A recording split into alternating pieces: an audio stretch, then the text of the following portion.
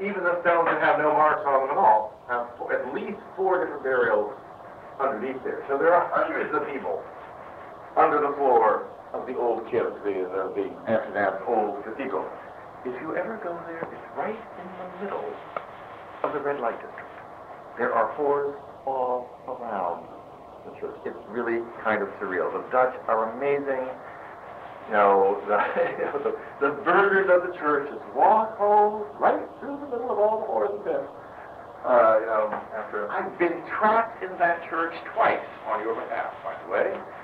But I almost spent the night lying on the floor of that church doing rubbing because uh, they locked the door without telling me they were doing so. Anyway, that's another story.